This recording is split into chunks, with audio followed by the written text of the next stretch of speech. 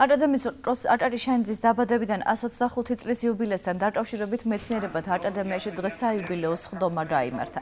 სხდომაზე ესაუბრეს დიდი მეცნიერის როლზე ქართულ ენათმეცნიერებაში შეხვედრას ქართველი მეცნიერები და საზოგადო მოღვაწეები ესწრებოდნენ სხდომაზე ასევე არტარიშანძის ცხოვრებისა და მოღვაწეობის ამსახველი ფილმი აჩვენეს.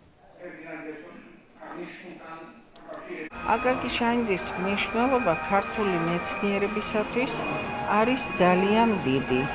ივანე ჯავახიშვილთან ერთად ის იმ მეცნიერთა ჯგუფში შედიოდა, რომლებიც იყვნენ თბილისის უნივერსიტეტის დამაარსებლები და ეს იყო ის ჯგუფი, რომელმაც ქართულ მეცნიერებას ჩაუყარა საფუძველი იმ დროინდელ ევროპულ დონეზე.